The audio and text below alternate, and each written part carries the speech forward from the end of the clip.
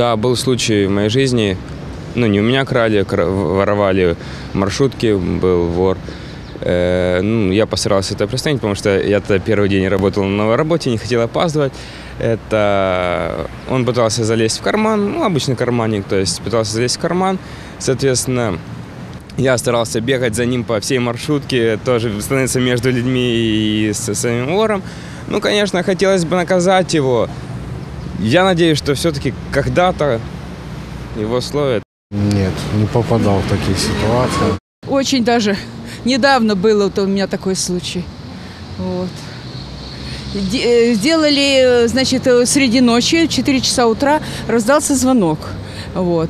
И э, голос, очень похожий на голос моего внука, сказал, вот, э, бабушка, я попал в милицию. Даже ничего не сказал, что и, и как. Я перепугалась. Вот, они все время. Я говорю, ну так что, что же мне делать, говорю.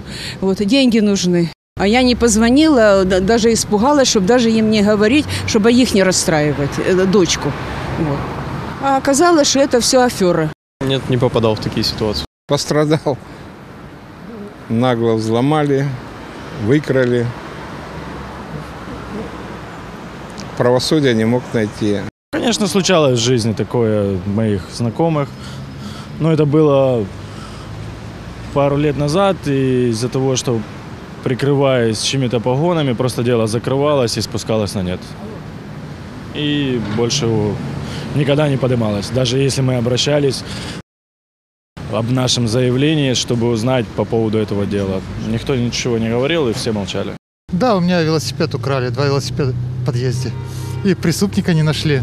Ну, заявку оставил в милицию, может, найдут когда-то.